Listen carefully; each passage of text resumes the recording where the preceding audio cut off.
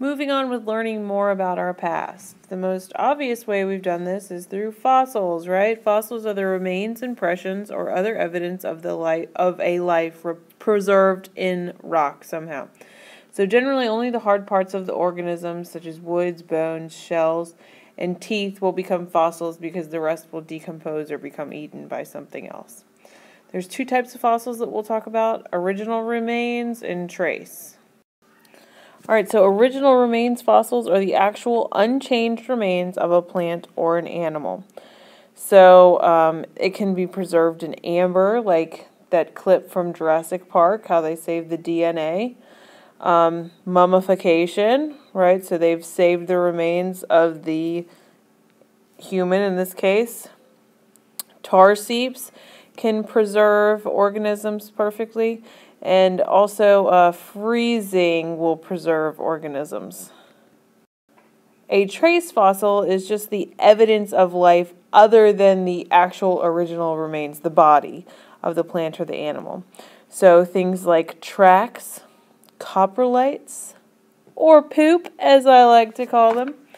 All right, and then we have some imprints, or you could have a mold or a cast. So a mold is the hollow space left behind in the rock, and the cast is the replica created uh, in the rock by the mold. And it looks just like the original organism did.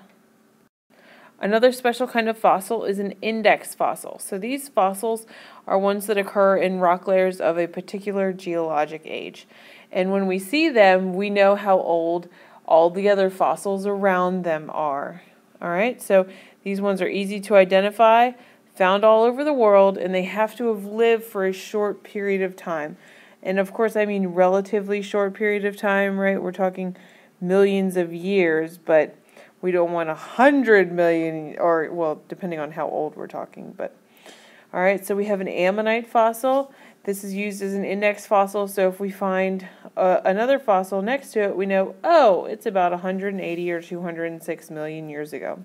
Same thing with a trilobite fossil. When we see something located next to that, we can automatically assume that that other fossil could be anywhere from 440 to 540 million years old.